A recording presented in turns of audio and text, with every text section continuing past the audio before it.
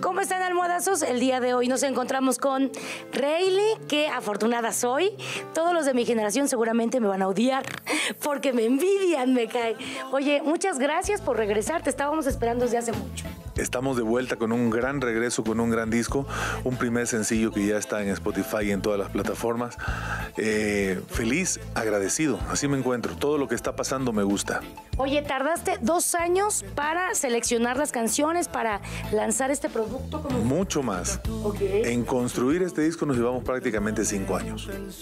Imagínate, ¿tienes más de 100 canciones? Hicimos más de 100 canciones para elegir estas 12. Pero bueno, así han sido todos mis discos. Mis discos son de larga duración en todo sentido. Yo voy a cumplir 30 años de dedicarme a la música el 7 de enero de 1990. Llegué a la Ciudad de México.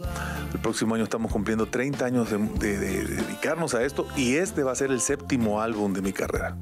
Oye, eh, ¿por qué decidiste que este sería tu sencillo de lanzamiento? Todo lo que está pasando me gusta, es una canción que de forma natural se ganó su lugar, la disquera se lo dio, de hecho la disquera fue quien eligió el repertorio y quien eligió que esta fuera la primera canción que se lanzara. Oye, ¿tiene ritmos que son como de reggae? ¿Cómo, cómo es? Tiene un toque de reggae, un poco de cumbia, es una canción muy alegre. Además muy tú, porque no se aleja de ti.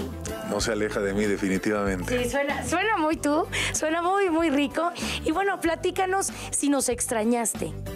Pues se extraña todo, se extraña los medios de comunicación, definitivamente, el estar de vuelta con la gente, poder comunicarle a las personas qué está pasando con nuestra vida, el escenario.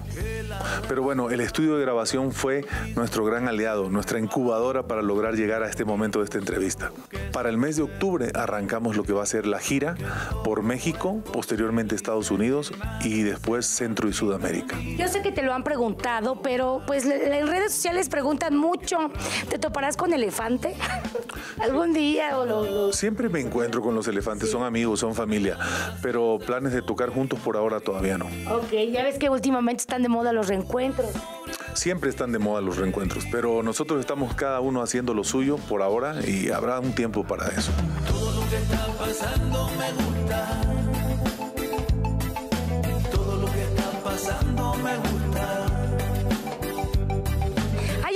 eh, hay una lista de canciones, ¿no? De estas canciones te van a hacer sentir bien, ¿no? No lo sabía, pero esta se incluye dentro de la que... Perfecto. Es más, dentro de las canciones que te van a hacer bien, yo creo que esta es la que mejor te va a hacer. Muy bien, pues muchas gracias, Rayleigh, felicidades. Gracias a ti, gracias a todos.